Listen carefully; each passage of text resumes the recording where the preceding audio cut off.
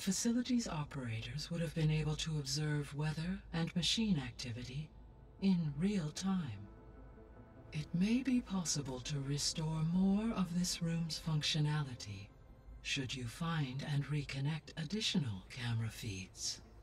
I'll keep a lookout.